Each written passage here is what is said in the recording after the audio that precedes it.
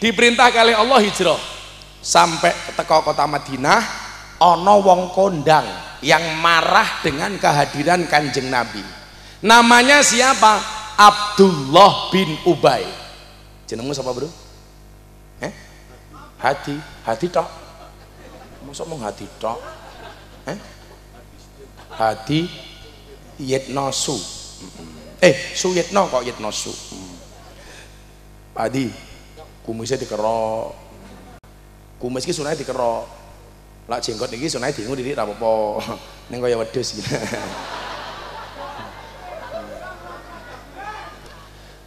satu minal fitrah. Fitrah ki 5. Siji khitan, loro ngetok kuku, telu ngerok kumis. Sunah nih kerok. Papat mencabut bulu ketiak.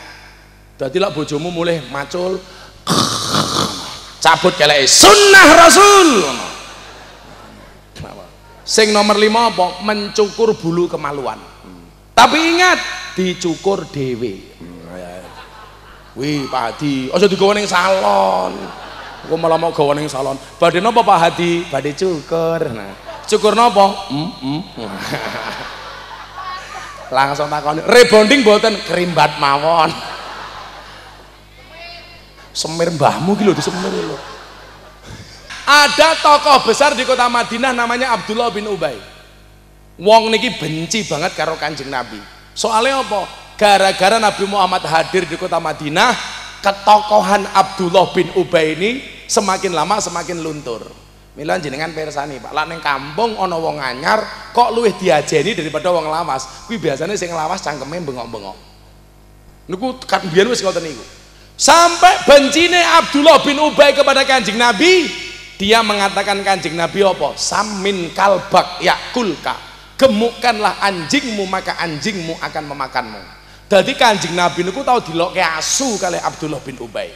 Napa Kanjeng Nabi nesu?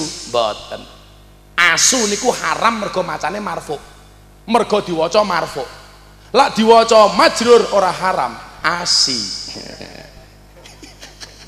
jadi asu wi haram mergo diwaca marfu lak diwaca jer halal asi. Mila ibu-ibu lah meneh asi anake rong tahun, aja 6 bulan. Karena asi itu luar biasa, praktis, ekonomis, demokratis, dan dilindungi badan hukum. ASI itu praktis. Kemasannya bisa dibawa ke mana-mana. ASI itu ekonomis. Kemasannya tidak gampang pecah. Kan rono ASI penyok. Orang dan yang jelas ASI itu demokratis. Maksudnya iso tinggu anaknya iso tinggu bapak nih demokratis.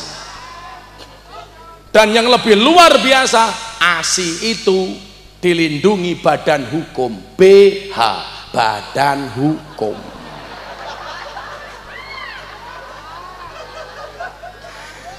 Kenapa ASI dilindungi badan hukum? Supaya tidak gampang disentuh oleh orang lain maka kenapa sapi kayak susunya gampang dicekel karo wong liya soalnya sapi susunya tidak dilindungi badan hukum kan rano sapi behanan rano Melaku ning Kediri arep golek ASI. Oh, oke okay, nih gini. Allah susune mbokmu mau tawa-tawa. Teneh aku iso mutah-mutah. Mila pas kula dibuli kali Gus Nur kula dilokke diasar Gus telek. Aku ora nesu. Wong Kanjeng Nabi dilokke asu ora nesu apa meneh mung kula dilokke Gus telek. Kula luwe seneng dadi telek daripada dadi roti. Telek niku lah oke nyuwun sewu dadi rabuk. Roti dipangan dadi tai. Ampuh aku santai mawon pak. Dindak-idak iki rapopo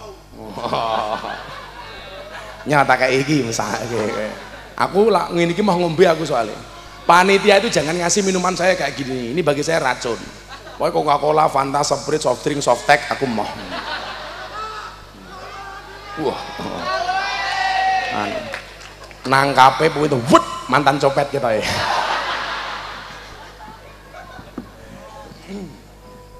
wis rapopo sing ngelokke kula Gus telek sakniki nyemplung penjara teng Surabaya. Wis rasa diapa-apake dongake mawon muga-muga betah. Singkat cerita Abdullah bin Ubay mati. Mila jenengan jangan terprovokasi dengan nama. Jenenge Abdullah tapi mboten wong Islam niku yang kafir. Mila begitu Dedi mlebu Islam, dhek takon kali kula, "Gus, apakah saya harus berganti nama?" Saya jawab, "Tidak." Begitu kula sowan ke Kiai Ma'ruf Amin sama Pak Kiai Ma'ruf Amin ditambahi. Mas Dedi, kalau mau tambah nama saya kasih dua, Ahmad atau Muhammad. Lah Dedi takon kali kula, "Bro, api Ahmad apa Muhammad?" Kula jawab Ahmad wae. Dadi apa? Ahmad Dedi malah bocahnya jawab kok kaya Ahmad Dhani moh jenenge Mila kasane iki tetep Dedi Corbuzier gara-gara niku Ahmad Dedi ra gelem deh sing paling benci iki aku ketemu wong takon Gus takoke Mas Dedi pun sunat napa dereng? Ya Allah. Akhirnya kula syuting ning hitam putih kula takoni. Ana wong takon apa? Kowe sunat apa durung? Dijawab karo Mas Dedi masa Gus gak percaya? Kamu lihat sendiri. Mah aku nggak tak buka moro-moro tungul ngene lah yo. Yo lah gede lah cilik kan aku izin lah aku jawab saya percaya kalau kamu sudah sunat tapi orang kediri itu lo nggak percaya. Nah, akhirnya dia takon bagaimana supaya orang kediri percaya kalau saya sudah sunat? Gampang tak foto nih engkau tak postingnya ya anaknya sowan kanjeng Nabi. Kanjeng Nabi bapak kula mati sapa Abdullah bin Ubay? Terus piye? Mbok jenengan layat teng bapak kula. Coba kanjeng Nabi ngelayati Abdullah bin Ubay yang notabene memusuhi kanjeng Nabi. Awakmu iso? Musuh sing wong sing musuhi awakmu mati kowe layat kanjeng Nabi layat oke layat sampai rumahnya Abdullah bin Ubay anaknya matur kanjeng Nabi mau nggak engkau memberikan syafaat ke bapak saya? Kali kanjeng Nabi Abdullah bin Ubay ini jenazah diidoni cuh cuh cuh cuh Mila jenengan namun kaget lah ketemu kiai ketemu pini sepuh. Pak kiai kula nyuwun barokah banyu niki mang dongake. Cara kanjeng Nabi malah diidoni maka saya dulu tersinggung dengan Ustadz Wahabi yang mengatakan bekas banyu kiai atau air putih yang didoakan sama kiai itu tidak ada berkahnya. Waktu itu saya tersinggung karena video klip yang dipakai niku videonya Mbah Maimun Zubair. Maka saya sampaikan wahai Ustadz Wahabi saya siap diajak untuk dialog benar enggak apa yang anda sampaikan? Kalau saya meyakini air sisa kiai atau air putih yang didoakan oleh kiai itu ada berkahnya. Yuk kita buka dalilnya apa wae sampai hari ini tidak ada jawaban dari orang wahabi itu. Biasanya wong al kacong aliran katok congklang. RCTI rombongan celana tinggi Indonesia. Lah sing gondrong kayak cetok. KMT kelompok badok terus kalau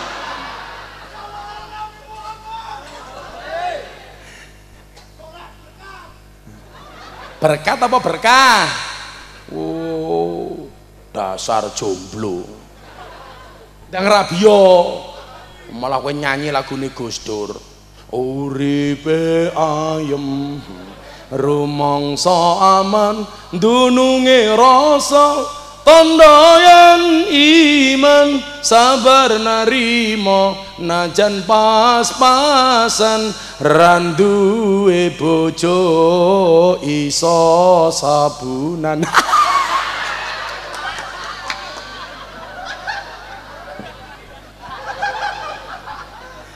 Lele itu namanya AIDS akibat intim dengan sabun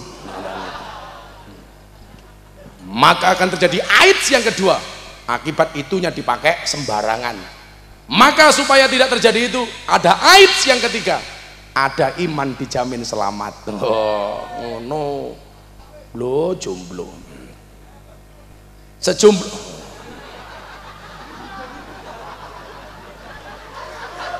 Wis wis tak ideni cangkemmu lah. Tak dongake, sejomblo-jomblonya kamu pasti akan berakhir. Amin. Di mana berakhirnya? Kalau tidak di pelaminan minimal di pemakaman insya Allah. Anjan. Serapopo sing rupa-rupa bertato sing mabuk serapopo. Mending melu ngaji ya ora. Aku ingin ngaji ning Surabaya malah wong luwumu gendut wetenge tato beduk. Kita tahu apa le? Bedok bah. Lah ngapa? Kula cinta kalih NU. Wah. Wetengmu mau tato bedok nggih. Tutuke endi? Ngisore. Lah golek yang endi ora ketemu. Santri kula teng pondok satu saya niku sing duwe tato cah 15 e ana, Pak. Lawak. Mriki ditak mriki ditindik ana sing mur, mangkokan, pelek. Wah, gede-gede tiang listrik ya kula tompo ya ngapa Walau saya sering mengatakan jangan pernah menghina pendosa seolah-olah kita tidak pernah berbuat dosa. Lebih baik ahli maksiat yang khawatir dengan maksiatnya daripada orang yang banyak ibadah tapi sombong dengan ibadahnya. Allah ngaji kuwi ngajak orang ngejek ngaji kuwi nyenengke ora medeni mila nyuwun sewu ngaji itu tidak boleh menghakimi. Kita itu kan sering menjadi hakim bagi kesalahan orang lain dan menjadi jaksa bagi kesalahan kita sendiri. Niki ngeri. Kabeh wong disalah-salahke. Mila kiai niku relasine malaikat Jibril mboten malaikat Israel soalnya ngajak orang ngejek merangkul bukan memu oh, matan. Sengit aku di zoom wae kat mau kok iki rong tahu toh ono kiai mutilasi tukang syuting rong ono toh. Sallu ala Nabi Muhammad. Bardidoni syafaat anaknya matur meneh. Kanjeng Nabi kula angsal mboten nyuwun jubai monggo apa le? Damel ngafani bapak kula. Mikire anake Abdullah bin Ubay menawi bapak ini dikafani karo jubai kanjeng Nabi kan wedi malaikat munkar nakir bakal takon wow jubai kanjeng Nabi bro. Milo ibu-ibu pengen rata koni kalau malaikat munkar nakir gampang. Sesuk kain kafanmu rupane ijo. Mesti rata koni munkar nakir. Soalnya apa? Dikira lontong. Ora takone langsung dimplok kandhane. Lah kuwi sing jomblo sok kan kafane pink eh gagah. Begitu dibuka jomblo men. Rabia toh cinta ditolak sarkem masih buka. Arane ngono. Aku iki ngenes lah ndelokke jomblo Pak. Kalau kamu lahir dalam keadaan jomblo itu bukan sebuah kesalahan. Tapi kalau kamu mati dalam keadaan jomblo mengenaskan tak ada nih malaikatnya moro giajul tititmu nganggur ngono. Dengake muga-muga bojomu ayu rondo anak limolas.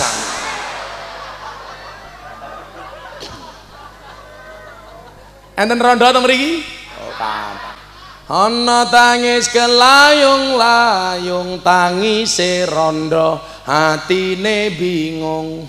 Nangis saben bengi turu dewi rana sing ngancani. Ditumpaki arang-arang ah sing numpaki sapa? Sapa sing numpaki hadi suyitno.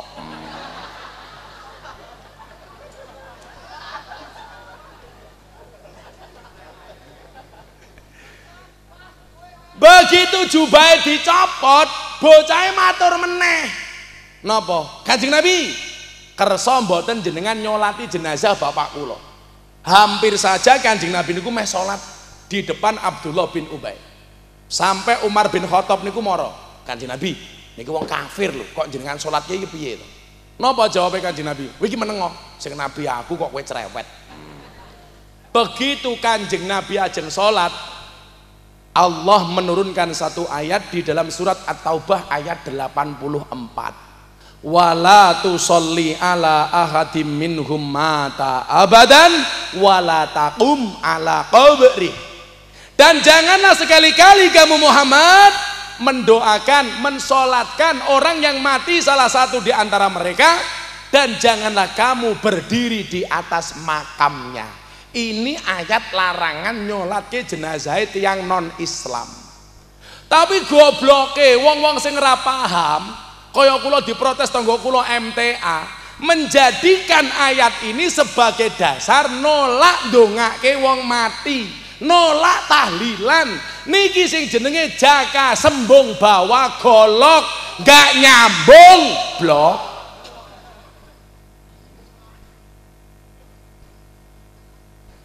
Lawang sing dilarang wong kafir kok malah nolak tahlilan. Kan ra nyambung Pak. Ora nyambung. Jaga sembung bawa blulo nggak nyambung cok eh NO garis garis lingkar ya mau meneh garis keras lah aku bro jadi lakukan macam-macam tak seret cemplongnya kali bluk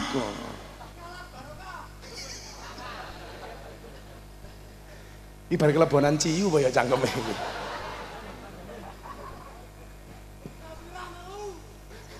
Kowe bareng ngombe ciu apa, Bro? Oh. Ketok, ya ora apa-apa cangkem-cangkemmu dhewe kok. Kula niku ning Yogya umum marang ngaji no. Kula mangkat ning Malioboro ning Sarkem jam 2 bengi. Bocah-bocah mabuk tak ambiri, Pak. Malah kadang-kadang kula dijaluki tambah barang. Gus kurang mbok tambahi, tak tambahi. Tambah. Ning syaratnya siji, subuh kudu melu salat aku. Bengi tak tambahi duit 500.000 nggih mabuk, do mabuk niku, Mbah tambahi, tak kei. Tapi syaratnya siji yo, napa engko subuhan melu aku nggih. Jadi bar mabuk salat ning pinggir dalan Malioboro. Allahu Akbar ning mburi caca mabuk cah 15 20. Allah. Begitu. Ghairil maghdubi alaihim waladdallin. Eh. Kula sabar lho ngono Mula kula sering dikritik kali kiai-kiai lak mergo niku. Wis ra apa-apa lah dilokke kula goblok wong mabuk diajak salat apa kowe iki paham? Wong mabuk salate ora tampa karo Gusti Allah 40 dina. Tak jawab ditampa ora ditampa ora urusane cangkemmu. Aku yang tapi urusane pangeranku. Lah bocah niku tajak salat nunggu ra mabuk salate kapan? Wong bendina mabuk. Wong cekelane botol niku mendino. Bahkan gawe paguyupan pangunci, paguyupan ngunjuk ciu. Akhirnya bocah mabuk takon kali kula, "Bah, jarene ana hadis wong mabuk salat ora tampa karo Gusti Allah 40 dina." Niku pripun? Tak jawab, "Bener." Tapi awakmu kudu ngerti, kuwi hadise wong normal, sementara awakmu abnormal lah nunggu ora mabuk salate kapan ditampa ora ditampa urusane pangeran bodoh amat lah iya kok ngopo? Aku tahu Gus ning liquid cafe piye karaoke. Mbak-mbak seksi tak ajak ngaji bare salat kan kula bagi rukuh. Kula niku paling sering bagi rukuh sajadah Quran teng mbak-mbak dunia malam teng mbak-mbak lokalisasi. Kula bagi rukuh niku 300 teng sarkem. Babak lonte sewenenge ra Ikhlas mboten Gus? Ikhlas. Syaratnya pripun? Dinggo salat, aja dinggo lemek. Aku yang ngono ta. Ngomong tinggi lap, ngalap berkah sama Gus Miftah. Ser lah ya. Danco ngono. Kula lagi biasa, Pak. Seneng kula. Pagi. Bahkan kula tahu meh subuh niku ditelepon karo mbak-mbak sing ditelepon asisten kula soalnya lah mbak-mbak niku kulo haramke nyekel nomor HP kulo sing ditelepon sopir kulo asisten kulo matur abah aku pengen ngomong penting. Apa nduk? Kulo bareng lonte bah. Terus kulo pengen salat subuh carane pripun? Mandi besar mandi junub. Lah niku sing ajeng kulo takokke carane pripun? Mandi junub kuwi rukune mung loro. Siji niat mandi junub mergo kowe bar kelon. Ngono nomor loro meratakan air ke seluruh tubuh. Oh ngoten nggih. Lah kula tetep dereng paham ya bah terus piye? Mbok menjang praktek kali kula. Matamu! Aku ngono. Emangnya aku cowok apaan? Salat pak. Biasa. Jadi mbak-mbak lokalisasi ini lucu ya bengi ngelonte subuh subuhan. Ngelonte subuhan. Ngelonte subuhan. Lah kula ditakoni pripun bah ya karepmu lah. Ya tak tugasmu ki siji. Piye carane malaikatmu mendase sesok pada akhirnya mesti mandek. Orang mungkin bakal jadi lonte selawase. Maka kalau kamu tidak bisa melakukan seperti apa yang saya lakukan jangan pernah kamu hina tapi doakan. Bulian dan hinaanmu tidak akan pernah merubah mereka sedikit pun tetapi kalau kamu mendoakan dengan ikhlas bisa jadi wasilah hidayah untuk mereka. Maka saya mengatakan pada akhirnya surga itu akan ditempati oleh ahli maksiat yang mau bertobat bukan orang yang sok suci namun pada akhirnya tersesat